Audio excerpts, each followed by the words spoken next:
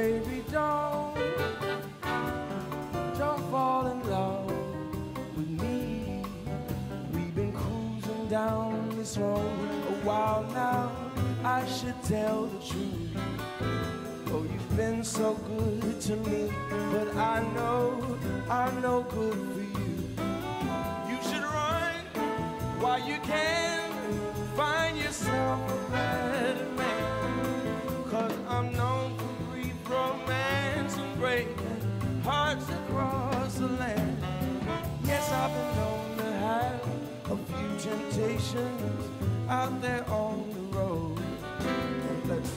hypothetically, I slipped and took a couple.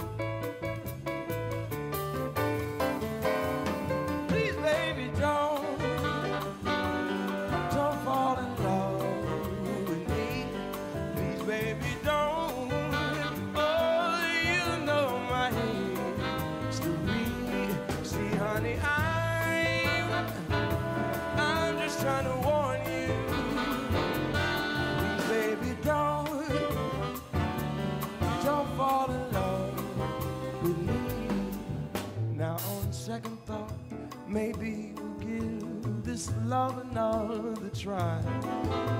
I can't see you with no one else. I'm selfish, I can't lie.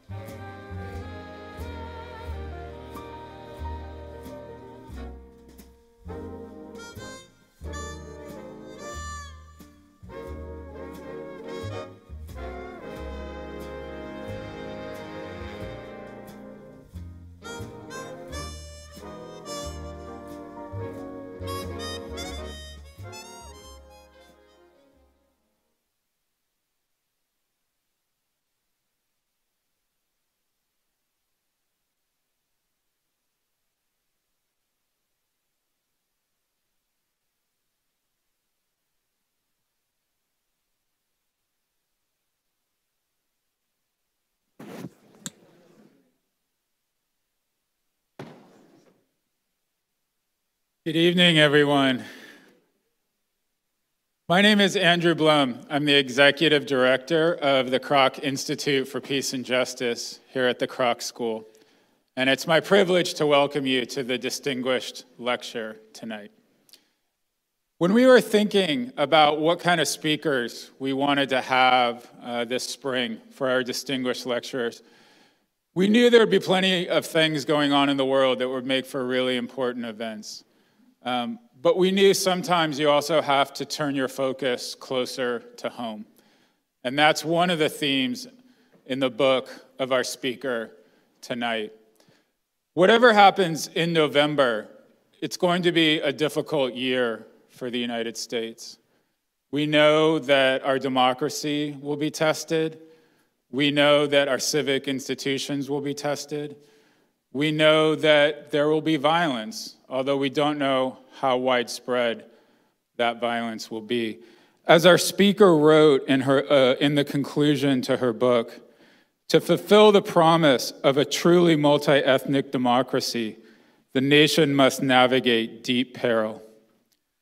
So, this spring, we wanted to invite speakers who can speak to our situation in the United States and who can help us think about how we prevent violence and build a more peaceful and democratic society. Tonight, you'll hear from Dr. Barbara F. Walter, who has written a path breaking book on the threat of civil war in the United States. On April 25th, we will welcome Vidya Ramalingam, CEO of Moonshot, and a globally renowned innovator on strategies to address violent extremism around the world. I am particularly pleased to be welcoming Dr. Walter tonight as her research aligns so closely with what we do here at the Kroc School.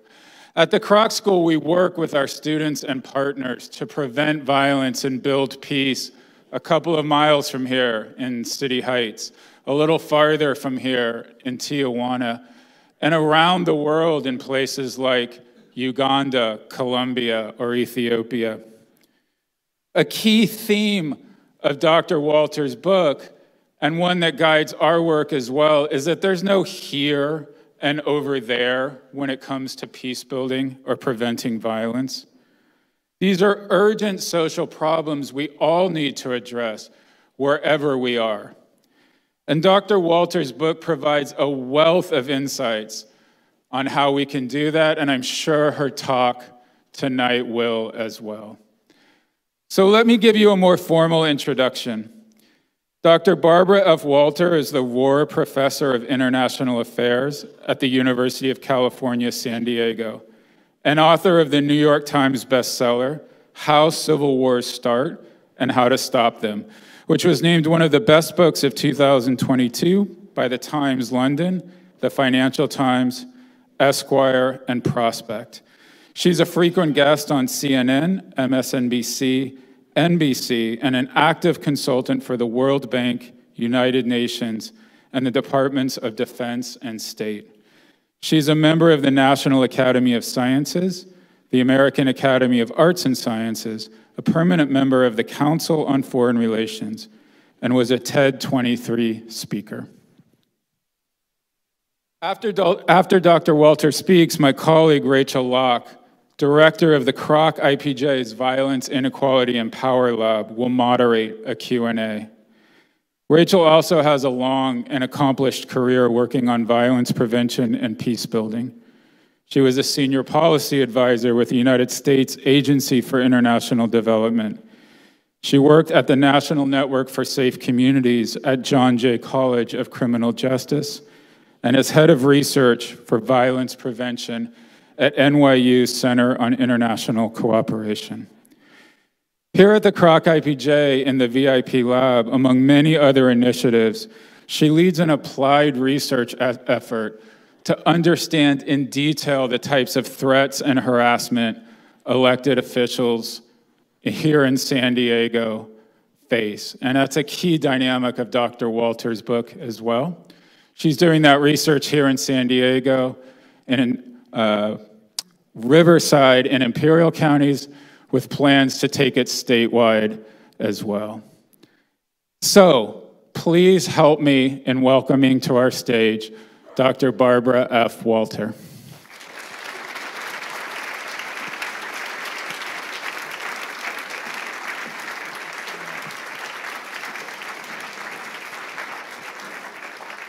Hello, neighbors. It isn't often that I get to just drive down the five to give a talk, so this is a real treat for me. I'm going to start with a story. Um, I've been studying civil wars for over 30 years, and I've been to lots of different countries. Um, in fact, I've interviewed members of Hamas in the West Bank and ex Sinn Féin members in Northern Ireland, former members of FARC in Colombia. I've driven across Zimbabwe as the military was planning its coup against Robert Mugabe. Um, I've stood on top of the Golan Heights and looked into Syria during that civil war. And I've been followed and interrogated by um, the Myanmar junta. Um, it's good to be back in San Diego. Um, in 2017, I was asked to serve on a task force run by the CIA called the Political Instability Task Force. The task force was made up of two types of people. Half the task force were experts on conflict, like myself, and half the task force were data analysts. One of the main goals of the task force was to come up with a model that would help our government, the US government, predict what countries around the world were likely to experience political instability and political violence within about two years. So, when the data analysts put together this model, they came to the experts and they said, Tell us every possible factor that you think could potentially lead a country towards civil war. And we gave them 38 different factors. Some of them seemed obvious whether a country had high levels of poverty and income inequality, whether there were uh, large numbers of, of minority groups who were heavily discriminated against, but we also gave them things that weren't so obvious whether a country had lots of mountainous terrain or whether it was particularly big or small. The data analysts took these factors and they went away. And when they came back, they said only two factors were highly predictive, and they weren't the two factors that the experts thought they were going to be. The first factor was something called anocracy. Anocracy is just a fancy name for a partial democracy. It's a government that's neither fully democratic nor fully autocratic, it's something in between. So think about Hungary today. My husband's name is Zoltan. His family's from Hungary. We talk to our relatives all the time. They have elections there as frequently as America does, and they love to go and vote. But it's a partial democracy because Viktor Orban, the president, has essentially eliminated free speech. He controls the media and he actively repress, represses anybody who attempts to challenge him. So the election always goes to him and his party. It has elements of democracy, but it also has elements of authoritarianism. The second factor that was highly predictive is again this horrible term that, that experts call ethnic factionalism. Ethnic factionalism is just a fancy term for political parties that break down not along ideology, but along racial, ethnic, or religious lines. So think of a country where people join parties not because they're liberal or conservative, or because they're communist or capitalist, but they join parties predominantly because they're black or white, Christian or Muslim, Serb or Croat, Hutu or Tutsi. So, if a country had these two features, if it was a partial democracy whose citizens had decided that they were going to organize themselves around race and religion rather than ideology, that country, the task force put that country on a watch list. We actually called it the watch list, and we sent that list to the White House. We considered those countries at high risk of political instability and violence within the upcoming two years. So here I was, I'm sitting in a hotel conference room four times a year in suburban Virginia with a room full of really, really smart people. And we talked about countries in the Middle East. We talked about countries in Africa, in Central Asia, in Southeast Asia, but we never ever talked about the United States. And we didn't talk about the United States because the CIA is legally not allowed to monitor the activities of US citizens, and that's exactly the way it should be. But I was a private citizen, and I knew what this model was telling us. And I could see that these two features were emerging in our own country, and they were emerging at a surprisingly fast rate. So, America's democracy was downgraded for the first time in 2016 as a result of what we soon found was Russian interference in the 2016 election. That was confirmed by our own intelligence agencies. Um, international election monitors came to the United States in 2016, as they do in all countries, um, and they they first they, they deemed the 2016 election free but not entirely fair our democracy was downgraded a second time in 2019 because the executive branch of our government, the White House, refused to comply with requests for information and with subpoenas handed down by Congress. Now, that might not seem like a big deal, but it actually is, because the main check on executive power in our democracy, the main check on the power of the president, is Congress. And if the president chooses to thumb his or her nose at requests from Congress and is able to get away with that, that indicates that the executive branch is stronger than the legislative branch, and that is a step away from democracy and the balance of power. Our democracy was downgraded again at the end of 2020 um, for the first time in America's history, the very first time, we had a president, we had a sitting president who refused to accept the results of an election and actively sought to overturn those results. By December of 2020, by the measure that the task force used on whether a country was a democracy or an autocracy or this in between anocracy, it would have been classified as an anocracy. That was in December of 2020. Had the task force been able to study America, I think it was likely that the United States would have been put on the watch list, um, and we would have predicted that the country was likely to experience political instability and political violence within two years. That was December of 2020, and of course, we know what happened on January 6, 2021. America was surprised, the members of the task force were not. Now, America's parties have also become increasingly divided by race. We could talk a lot about that. It's a fascinating topic. But I'll give you just a few statistics. And over the overwhelming majority of African Americans, the majority of Latinos, Asians, Muslims, atheists, and Jews vote Democrats, De- vote for Democratic. Over 80% of whites vote for the Republican Party. There's a big racial divide in the United States, eh, party wise. The second best predictor of how Americans will vote after their race is their religion. If you are white and if you are evangelical Christian, you place your bets that that person is going to vote for the Democratic Party. You could say the same in other, oh, uh, for the Republican Party. I, I think that was just wishful thinking.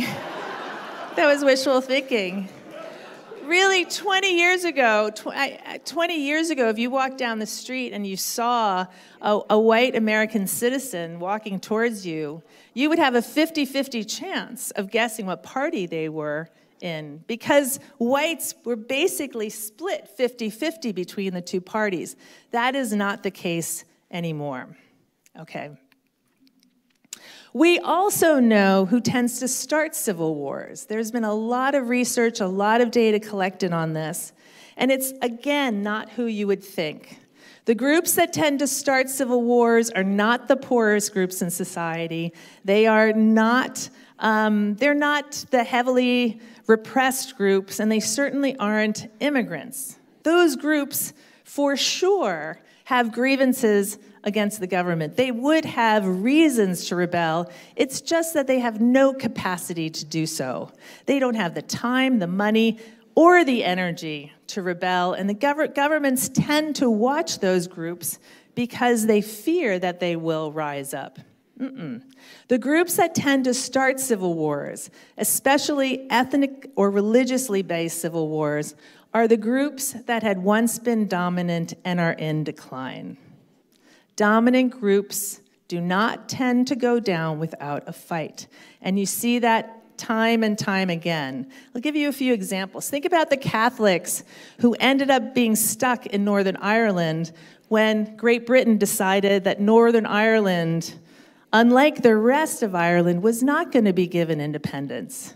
It was those Catholics who rebelled. Think about what happened in Saddam Hussein's Iraq after 2003.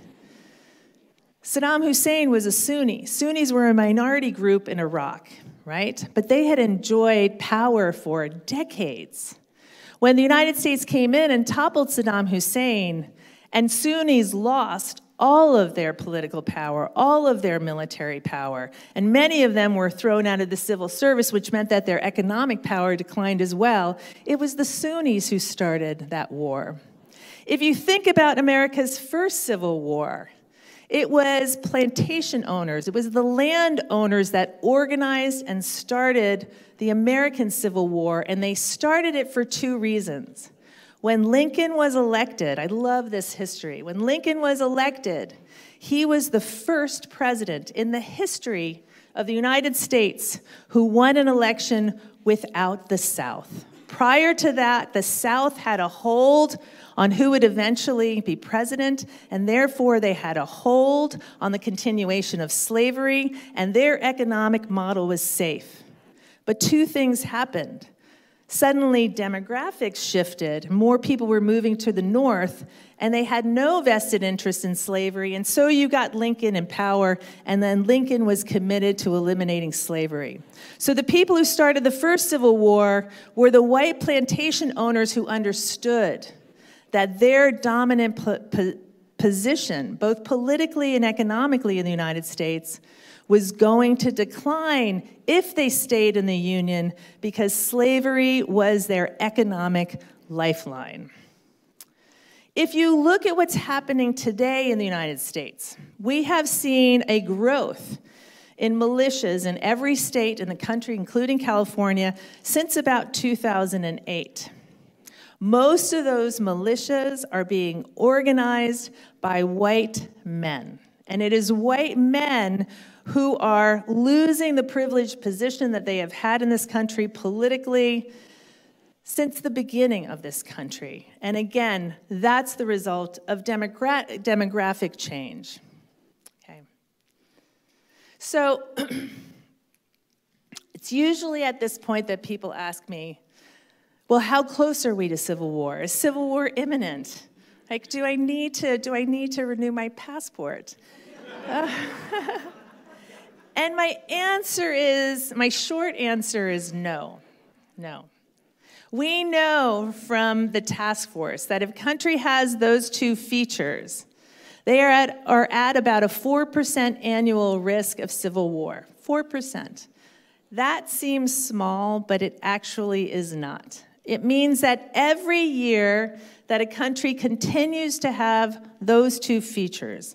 So every year that a, a, country continues to be this partial democracy, you could think about it as a weak democracy.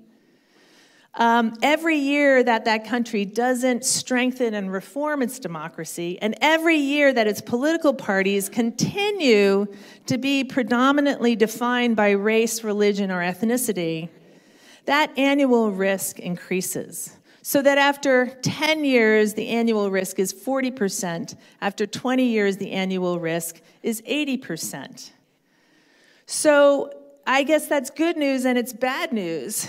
It, it, it's good news because it means we have time.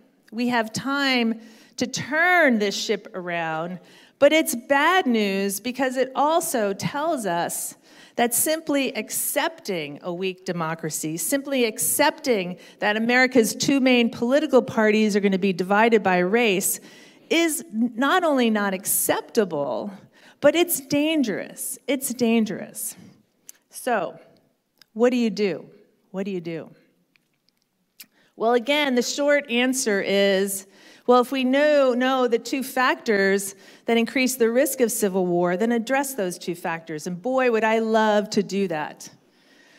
We know, we, political scientists, policymakers, smart people who read the newspaper, they know that America's democracy contains all of these very undemocratic features that democracies like the one in Denmark or, or in Switzerland or in Canada or in New Zealand do not have. We could also talk about why that's the case. Most of those undemocratic features were the result of compromises that were made to convince states to join the Union when this country was put together. But they are still undemocratic and they still exist today. Gerrymandering, the filibuster, the Electoral College, and more recently, big money in politics. This does not create a level playing field. It increasingly is leading to less than majority rule and we know that this is hurting our democracy and it risks putting us back in the anocracy zone. But we haven't been able to do anything about it. America's democracy is no stronger today in 2024 than it was in 2020. You know, for those of you who are Democrats and were happy when Joe Biden was elected, you breathed a sigh of relief in some ways that was a good thing. He was he he uh, he clearly honors democracy. He adheres to the rule of law. Nobody doubts that if Biden loses the election in November, that he isn't going to go uh, home and retire and finally get some sleep, right? But Democrats had control of all three houses, all three branches of government in the first two years of Biden's tenure, and they were not able to get a single reform through. Our democracy is no stronger today than it was in 2020. Okay. So then what do you do?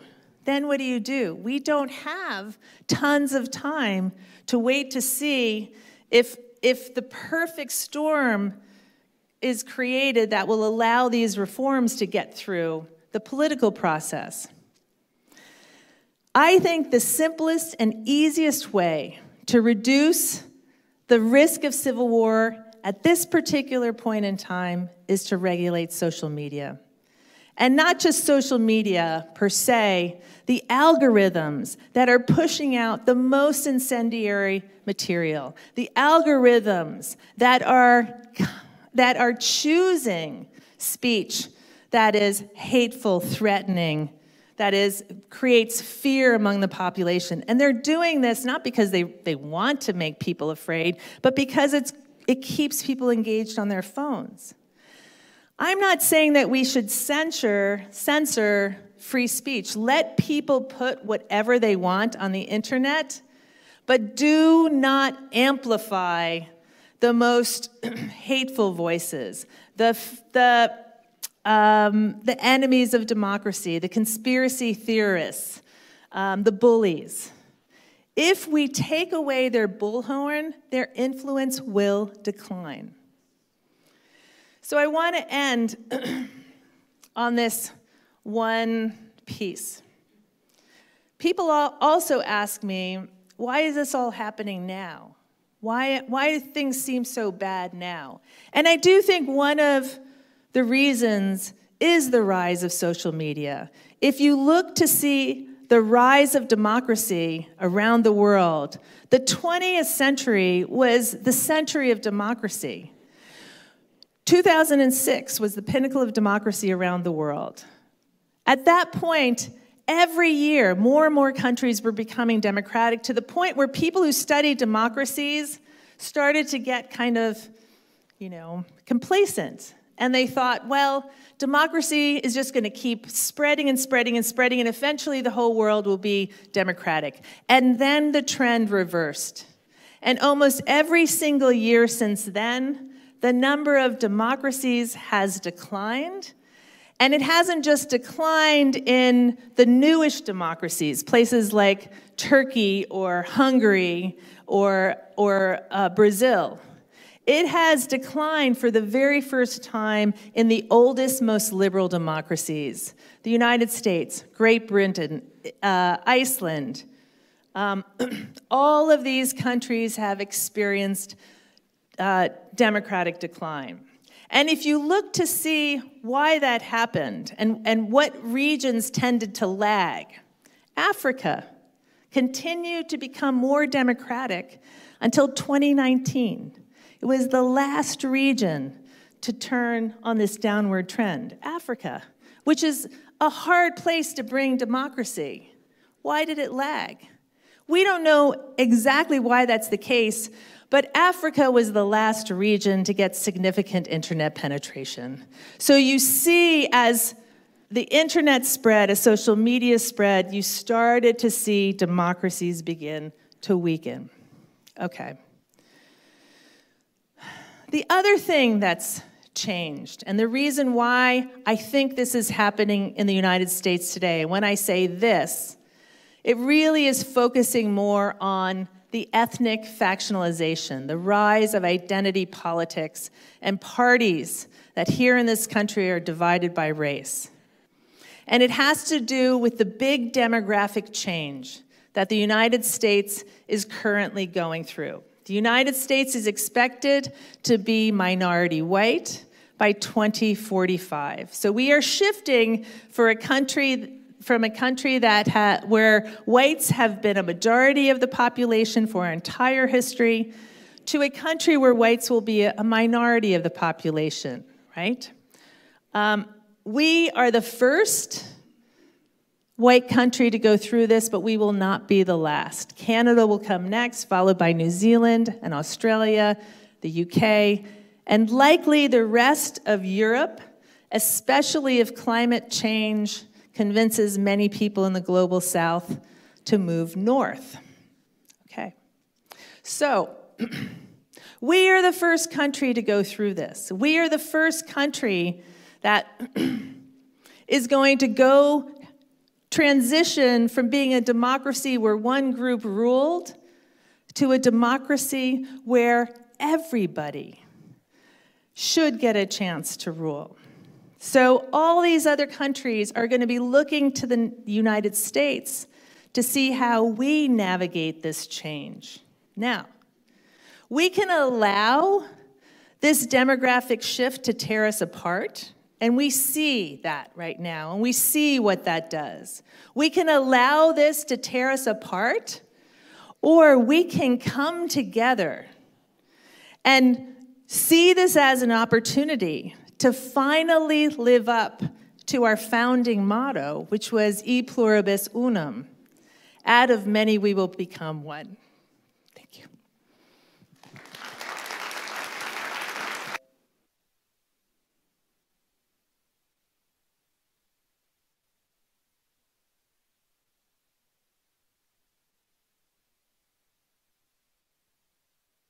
I've gone from the very dark corner to the very bright stage, so give my eyes and my voice a moment to acclimate. Um, I have the honor of asking you questions, and I hope you're ready because I don't know if you all can see this book, but it has, I think, more dog eared pages than it has non dog eared pages. It's a fascinating read. So thank you very much for putting this out into the world. And uh, I encourage everyone here who hasn't read it to read it. I'm going to start with a very short story of my own, which is when I worked for the US Agency for International Development for eight years during the Obama administration. Um, we were the office that analyzed conflicts around the world. And in 2012 or 13, I said, we should apply our conflict analysis tool to the United States. And I was told, like the CIA, USAID does not focus on the United States. So we never did it, and I'm still regretful that we didn't do it.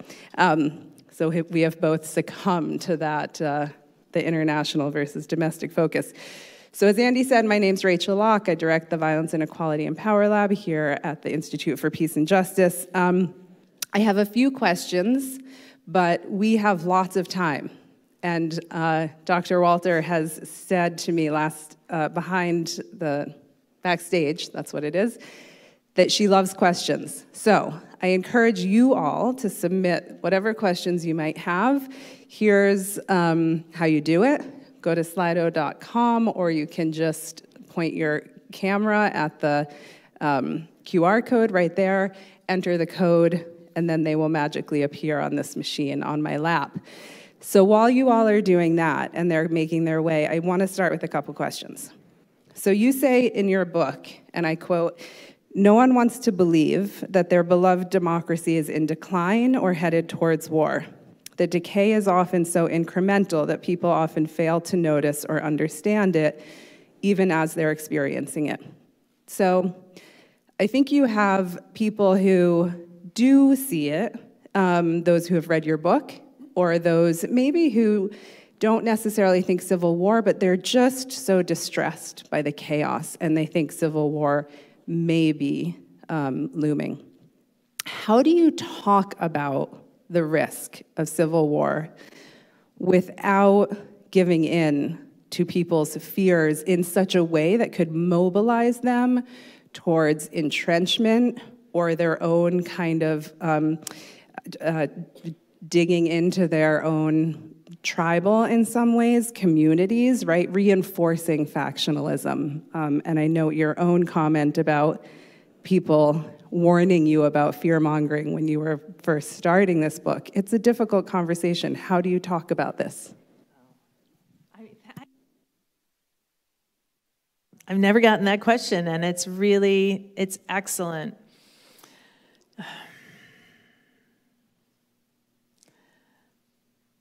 So, how do you talk about this without convincing people to go buy a gun, put bars in their windows, um, not talk to their neighbors.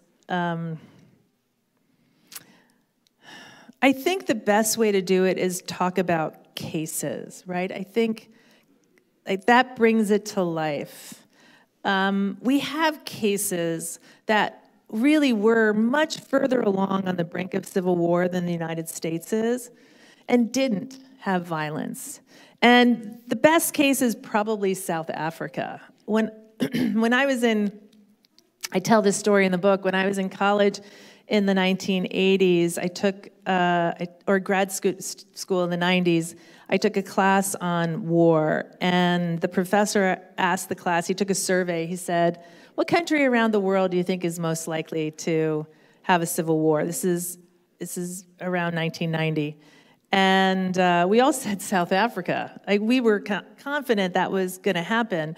Um, uh, you know, the, the vast, uh, South Africa was ruled by a tiny white minority that not only um, controlled everything, but as the black majority began to model itself again, uh, uh um, with the American Civil Rights Movement and began to start protesting very peacefully, but protesting, the South African government responded with more oppression um, rather than less. And, and many of you probably remember the, what happened in Soweto when school children went out and they peacefully protested, and the apartheid regime you know, sent in thugs and mowed, mowed them down. And, and what was even more surprising about that is when this happened, there were TV cam, there were, there were people with TV cameras, and there were photographers, and there were journalists in Soweto at the time um, who were documenting this peaceful protesters. And the soldiers who mowed down this, these children knew that this was being recorded, and it made no difference. They didn't care. They felt so secure in their power in their privilege that they didn't care if the world saw this. So we thought for sure that the vast majority of the population would figure out that peaceful protest eventually wasn't working and they would turn to violence. That tends to be what happens. And instead, it didn't. Instead, you had de Klerk and Mandela making this deal, Mandela leaving prison, and de Klerk stepping down and agreeing to elections, which of course Mandela won by a landslide. So why, why did this happen? And there's a story to be told here about the business community. So um, apartheid, the apartheid was, or South Africa was under pretty severe economic sanctions. And by the very early 1990s, its three biggest trading partners, the United States, Japan, and the European community, were all placing heavy economic restrictions on South Africa. And this was increasingly strangling the business community. And so the business community, which was a white community that had supported apartheid, eventually had to decide that they could either have apartheid or they could have profits, but they couldn't have both. And they went with profits. And as soon as the business community told the political leaders that they were no longer going to support apartheid. Political leaders knew they couldn't survive, and things changed quite quickly. So, you have situations where you could be much further along than the United States, where the situation looks hopeless, where it looks like there will never, ever be reform. But if a key player that's supporting that system suddenly decides that it no longer works for them or they no longer want it, you can have change and it can come relatively rapidly. I think um, that's great and also sort of shines a light on how important hope is, right? And talking about risks, but also talking about the hope. And without hope, we get sort of complacent, which you also talk about in your book, right? The importance of people not being complacent in the face of all of this. Um, so I want to ask another another question while, while the audience questions are coming in, which is that this is a school of peace studies, obviously, and some of the trends that you are talking about in terms of the um, feelings that people have in this phenomenon of downgrading, right? People who feel like they once held power, feeling like that's slipping from them. Some of these things are big forces, right? So uh, lost wages, economic uh, um, uncertainty, inequality, which we know is on the rise, housing, this is San Diego, being unaffordable. What are peace builders? What's the role for peace builders or the peace community? Um, and we did have one question here as well about um, the role that they can play, but also research uh, or studies that can be done perhaps by the peace building community. What's the role for peace builders? So, I, I, I, one of the things that happens in, in such situations of, of economic decline and hardship is that it creates a, a subset of the population, those who are affected by that. In the United States, the people who were um, deeply, if negatively impacted by NAFTA were the working class. Um, Clinton knew this when he um, signed NAFTA. Um, he knew that there were going to be winners and losers in this free trade agreement, and that the losers would be the manufacturing workers here in the United States who enjoyed well paid jobs with good benefits, who lived a, a, a solid, stable, middle class life. Those jobs were going to go away, and Clinton, Clinton knew that. Um, it was not sold to the American public that way. It was sold that free trade rises, raises everybody's boats. But they knew that wasn't the case, and they put no social safety net in place to help those people. And what that did was it created this subset of individuals who really were suffering who saw that the American dream wasn't working for them, who saw people with, with college degrees and graduate degrees getting great engineering jobs and computer science jobs in places like Silicon Valley or in the, uh, in the um, North Carolina Golden Triangle. And, and, and they were part of the American dream, and they didn't look like them, and they were losing out. And that group of people, it turns out, is susceptible to a message that tells them, I'm going to help make America great again. I'm going to help bring back what used to be here, and what happened to you is unfair. That message is effective because it, there is truth to it. It is truth to it. Like life has been unfair to some Americans more, more than others. And so I think, I mean, there's so much to be, the, these people aren't evil. They want what everybody wants. They want stability and they want an income and they want to be able to take care of their families. And the American system hasn't been working for them, and neither party has been taking care of them. So I, I feel like an organization like Kroc, um, you know, to, to go, I mean, it isn't even to go into the field and, and, and talk or help these people, although, you know, um, jobs programs and investments in education and investments in healthcare in these communities would really, really help.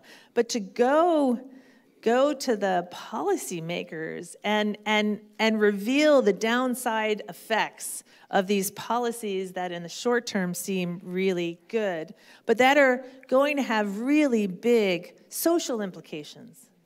Social implications. And, and, and this is especially important today AI, artificial intelligence, is going to do to lawyers and accountants and white collar professionals what NAFTA did to blue collar workers. And nobody's talking about that.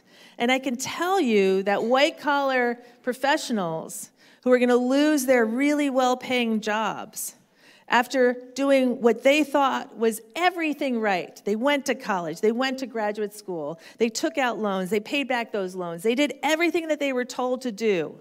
And now they are unemployable.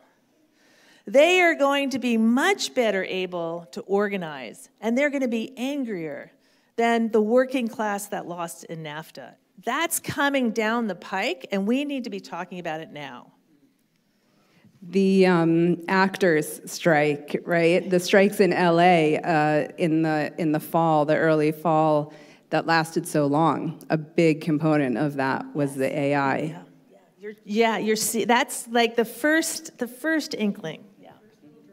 Yep. Yep.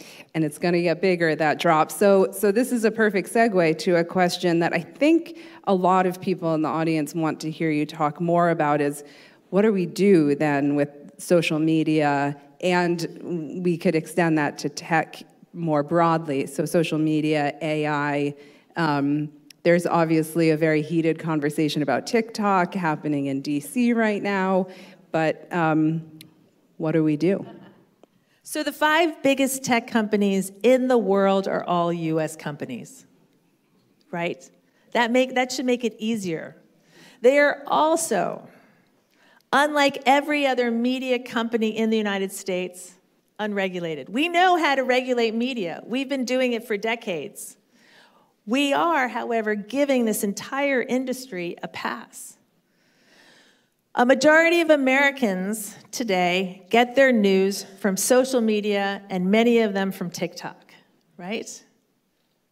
Like, why, why is this unregulated? Why, why do they get a pass?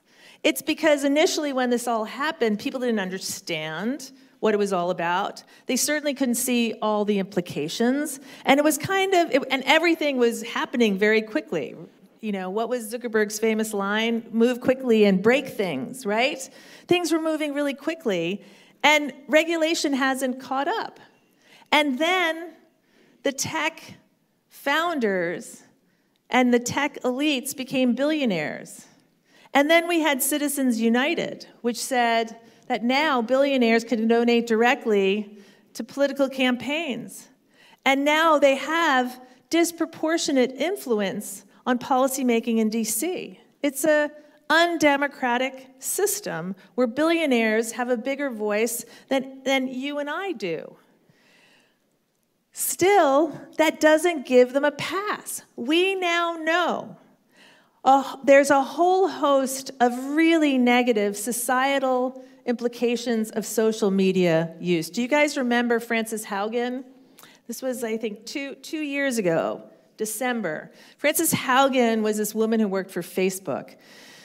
And she was involved, or she saw the results of, of numerous experiments that Facebook was running on Facebook's data. And it was looking to see what the effects of um, time on social media was on a host of different outcomes from teenage suicide to depression. Um, violence was one of the um, uh, outcomes that they looked at, a whole series of things. And Facebook's internal studies revealed that it was having a whole series of statistically significant negative effects.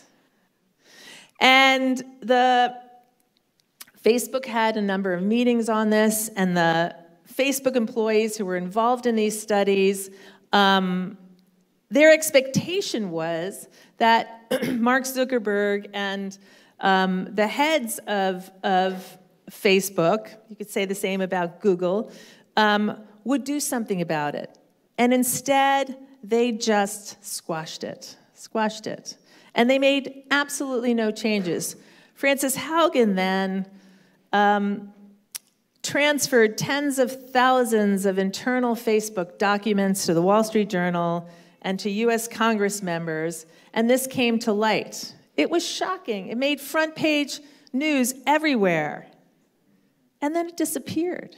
Nothing happened. And nothing happened because it's easier for politicians to continue to take big tech money to help them get reelected than it is to address this, which is an issue that doesn't drive it, voters to the polls. Voters don't vote based on whether there's internet regulation or not. They vote, they're, they're single issue voters on other issues, not on this issue.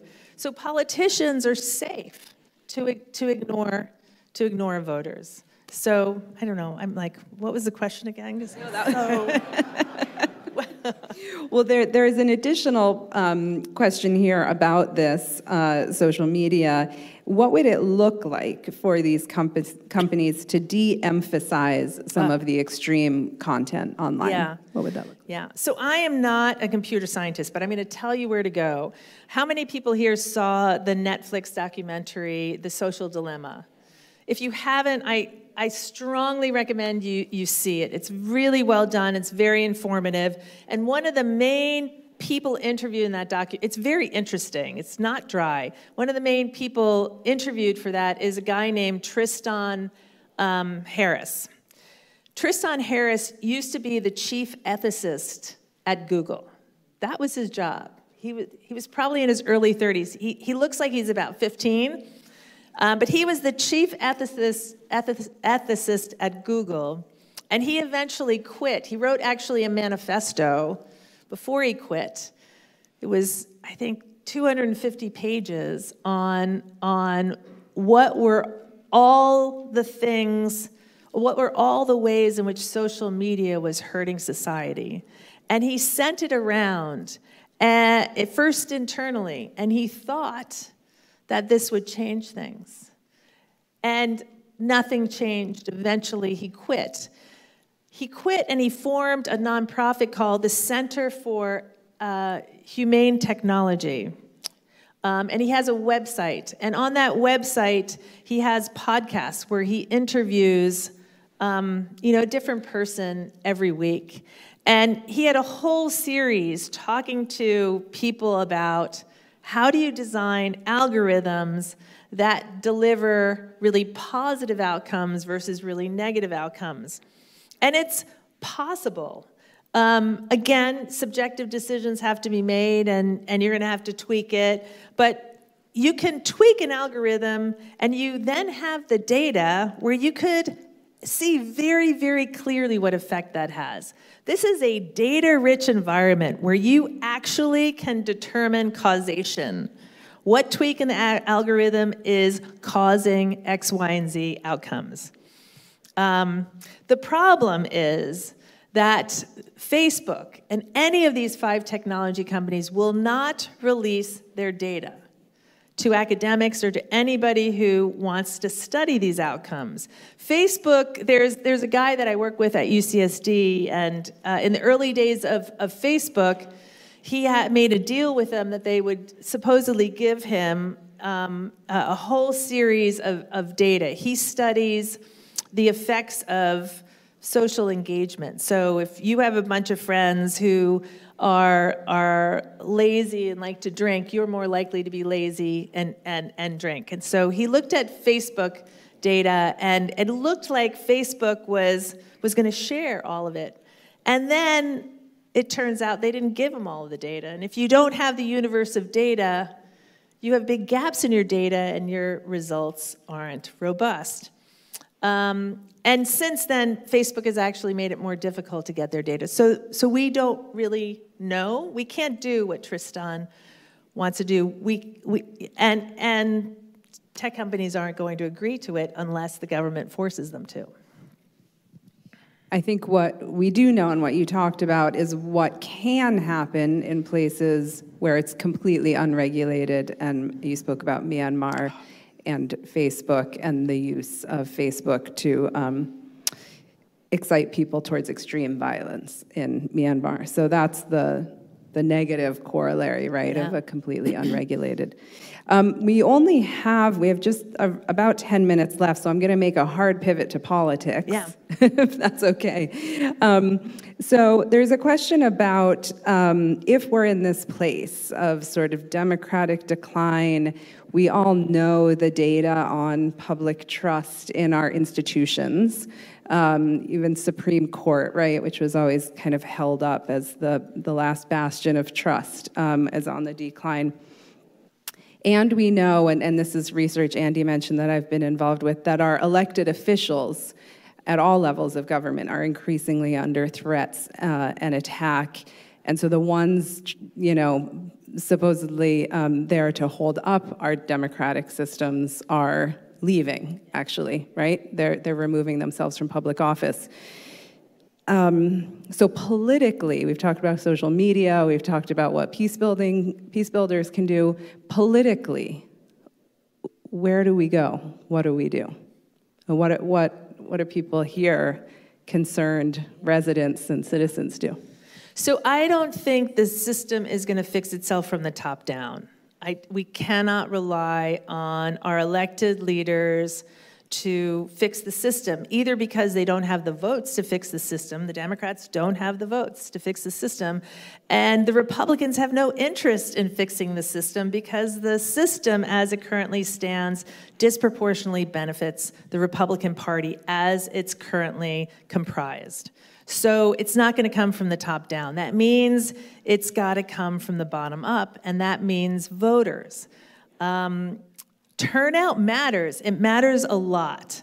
I talk about Tennessee in my book. Most people think about Tennessee and Kentucky as the same as deep, deep red states. Deep red. Like these are always going to be very, very conservative states. The reality is, if you look at a primary election in either of these states, only about 20% of eligible voters vote in those um, primaries. That means 80% of eligible voters are standing on the sidelines. So we actually don't know if Kentucky and Tennessee are red states. What we know is that they are non voting states. What would happen in America if suddenly all these people who've been standing on the sidelines, and if we look demographically, the biggest group that's standing on the sidelines are 18 to 25 year olds. They are the least likely to vote, and their preferences are radically different than the preferences of our current elected leaders. They, they, their preferences are, are different on almost everything on uh, funding for education, on abortion rights, on gun control, on climate change. You can go down the list. They want different policies, and they would elect different leaders.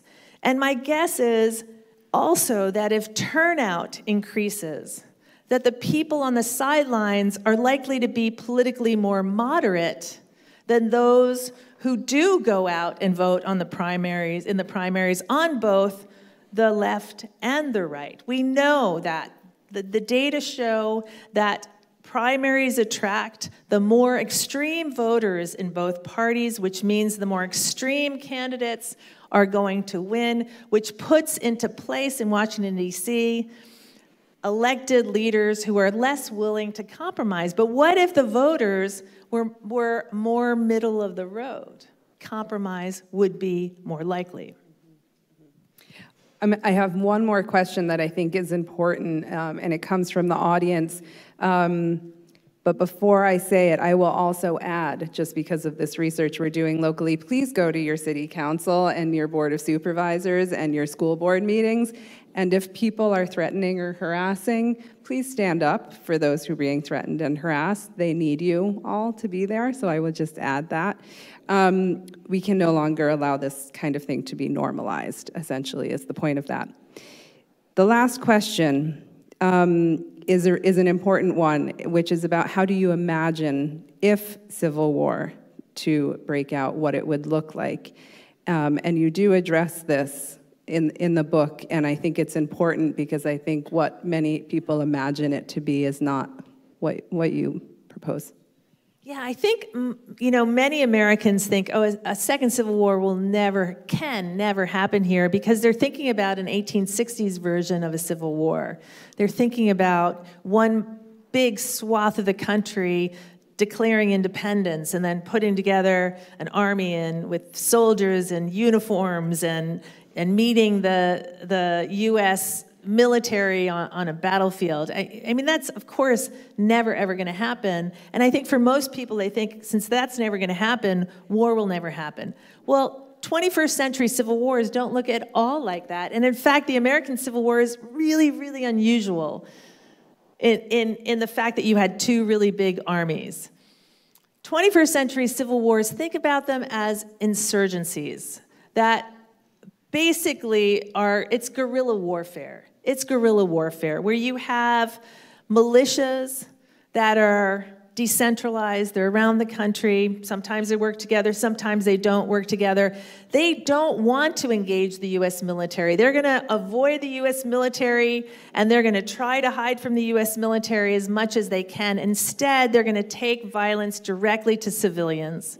So they're going to attack the minority groups that they fear are uh, superseding them. They're going to attack judges that are um, not sympathetic to their cause. They're going to um, attack uh, uh, opposition, people in the opposition who are, are challenging their favorite candidate. Um, and, and you've already seen this to a, to a degree in the United States. If you look at the incidence of domestic terror in the United States over the last um, 10 years. The number one targets, which again, I don't know why this isn't broadcast, are synagogues. They're, they're Jews. The second biggest targets are African Americans and Latinos. It's minority groups that are being targeted. And why is that? I'll give you just a hypothetical. Let's say, well, think about the Whitmer um, when there was a group of, of um, individuals in Michigan. Um, many of them were in the Michigan militia.